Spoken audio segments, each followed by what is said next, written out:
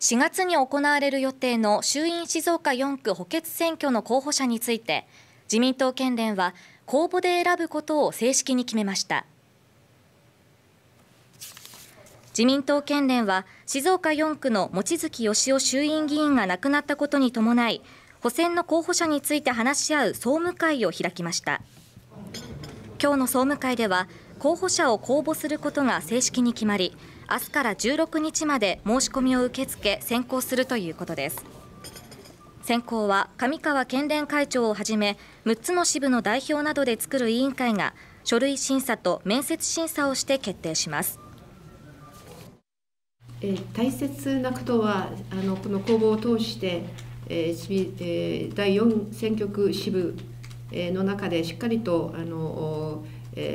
森重、先生の講演会また支部挙げて一枚岩で、まあ、戦っていくということでありますので